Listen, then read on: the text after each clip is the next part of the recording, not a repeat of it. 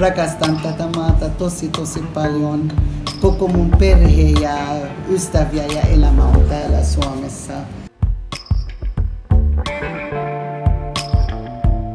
Eh, kun libanlaiset on bon viveur, että ne osaa elää. Mun mielestä mä oon myös eh, joka päivä mun elämäsi, elämäni on antamassa myös Suomelle takaisin. Ja